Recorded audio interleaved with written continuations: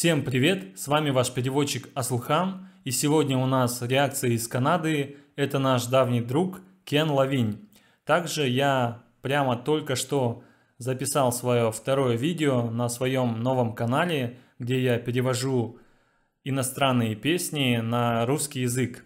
Строго не судите, я не певец, но я старался. Ссылка в описании и в закрепленном комментарии. Всем приятного просмотра. Всем привет, добро пожаловать на наш канал, и я являюсь штурманом этого корабля. Я певец и преподаватель по вокалу. Сегодня мы посмотрим и его версию.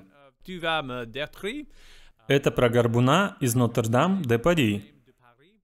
Перед тем, как мы начнем, пожалуйста, не забудьте подписаться и кликнуть по колокольчику, чтобы не пропустить новые видео. Каждую неделю я стараюсь сделать для вас интересный контент. Также не забываем пролистать вниз и написать свой комментарий. Если вы новичок, я подпишусь на вас. Также я максимум постараюсь ответить всем, кому смогу. И это не первая наша вылазка на территорию Димаша. Димаш – это сама музыка. И да, мне не терпится посмотреть, как он здесь выступит. Я думаю, это будет какое-то оперное музыкальное представление. Я не смотрел это выступление, поэтому не знаю, что тут будет. Знаю только, что это на французском. И это давняя история о горбуне из Нотр-Дама. Итак, у нас есть субтитры на английском языке. Пора начинать. Три, два, один, начнем. Je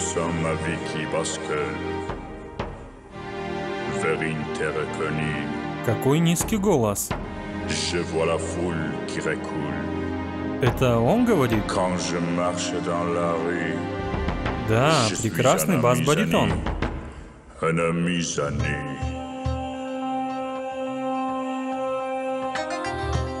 Я думаю, изначально в оригинале это был соло-монолог для бас-баритона. И вот это должно быть баритон. Он не похож на Димаша.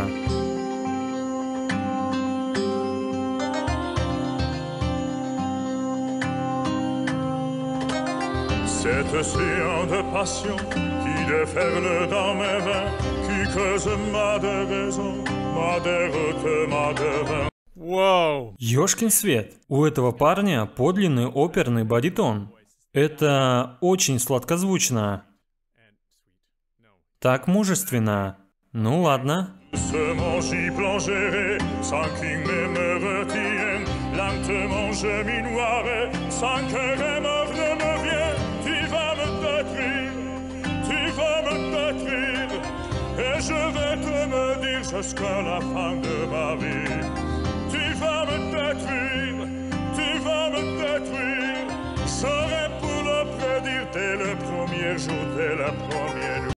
Почему у него оружие в руках? Очевидно, это история о некой одержимости.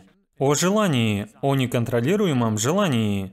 И я пока не понимаю, что за взаимосвязь между Димашем и баритоном на этой сцене. Я не могу предоставить никакого контекста. Извините, если вы ждете этого. Может быть, среди вас найдется интеллигентный человечек, который знает больше об этой истории, чем мы все, и расскажет нам об этом в комментариях.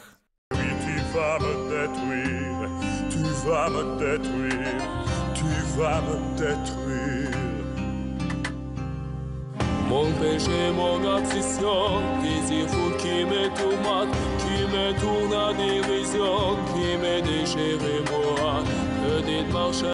Вы чувствуете разницу между этими двумя голосами? Димаш тоже может звучать как баритон. Но это два разных случая. У первого очень глубокий баритон оперного стиля, который поет именно в музыкальных театрах. Такой насыщенный, это тот случай, когда у тебя очень насыщенный голос, и тебе еще нужно понизить его. Потому что это слишком много для вот этих маленьких микрофонов, куда они поют. Это петличные микрофоны. Пока через мои наушники звучание отличное. Я не знаю, как это будет звучать дальше, когда они продолжат. Но я надеюсь, все будет хорошо. Заметьте разницу. У Димаша звук немного легче. Звучит немного в поп-стиле, в отличие от насыщенного звука баритона, который опускает гортань и поднимает небо. Tu vas Mon péché, mon attrition, les effouts qui me tourmentent, qui me tournent à dérision, qui me déchirent moi. Peut-être marche à illusion, je ne vis que dans l'attaque, et ma folie que je porte, et que dit dans cette chante, tu vas me détruire.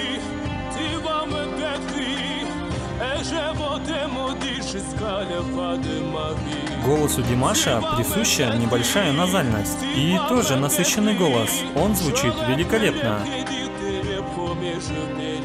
Немного о французском языке. Вся идея легата в том, что она должна срастаться с самим языком. Вы услышите разницу, когда споет певец француз или тот, кто хорошо владеет французским, и тот, кто просто владеет языками и мастерством пения, так как есть такое понятие, как связка звуков. Димаш поет обрывисто, поэтому здесь меньше легата. Он выпускает каждый гласный звук четко и разборчиво. Но весь кайф французского языка в том, чтобы размешать все эти звуки. Это как масло, которое смазывает все. И вы можете это услышать.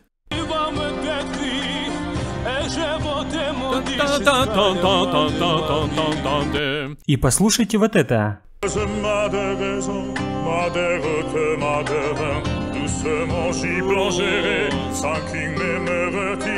Это словно растягивать диску. Давайте вернемся к Димашу. Не посчитайте это за критику. Это то, чему мы должны учиться.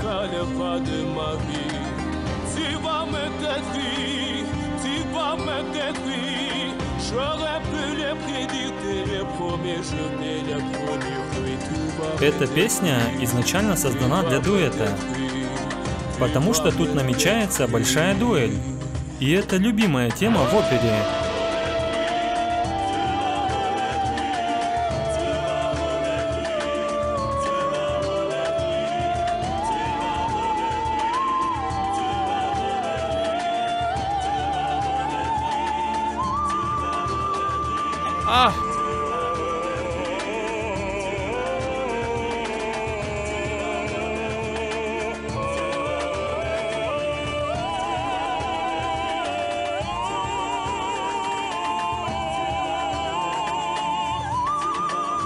Да ёксель-моксель. Ёперный театр. Эта нота просто пронзила меня насквозь. Wow. Uh, Когда он переходит в верхний регистр, его голос словно сахарная вата. Он такой тонкий, как паутинка, но при этом невероятно сладкий. Как ему удается удерживать этот момент в таком фальцетном тоне? Это же такой длительный мелизматичный отрывок.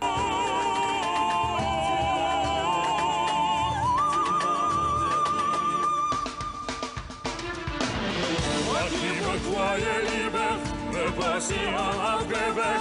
Moi qui me croyais libre, contre le feu de la chair. Je m'enflamme et me consume, ouvre les yeux d'une étrangère qui est bien plus de mystère que la lumière de la rue. Tu vas me détruire, tu vas me détruire, et je te maudire jusqu'à Больше поп-звучания на этих высоких нотах в манере пения Димаша. Вы можете почувствовать разницу красок в этих двух голосах. При этом они гармонично смешиваются. Такая более оперная, настоящая оперная манера пения. uh? Я не вижу его имени. Как же его зовут? У меня тут не видно. Я про баритона. И манера Димаша – это более поп-стиль, влитые высокие ноты. Он тут поет очень высоко, как тенор. Я даже не знаю, как это называется. Что-то типа тенорового белтинга, только одному Димашу это известно. Ведь никто это так не делает, как Димаш.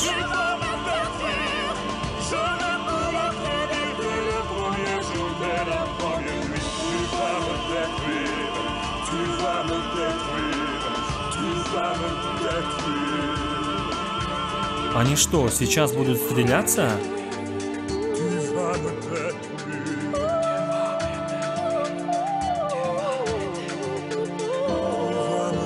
Елки-палки.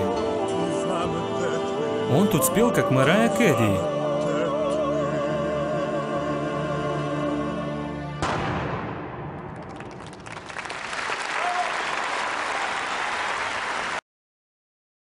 В чем символизм этого всего? То, что Димаш замочил баритона?